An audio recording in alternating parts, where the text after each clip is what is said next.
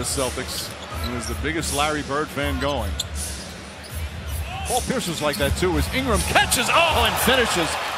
What a beautiful.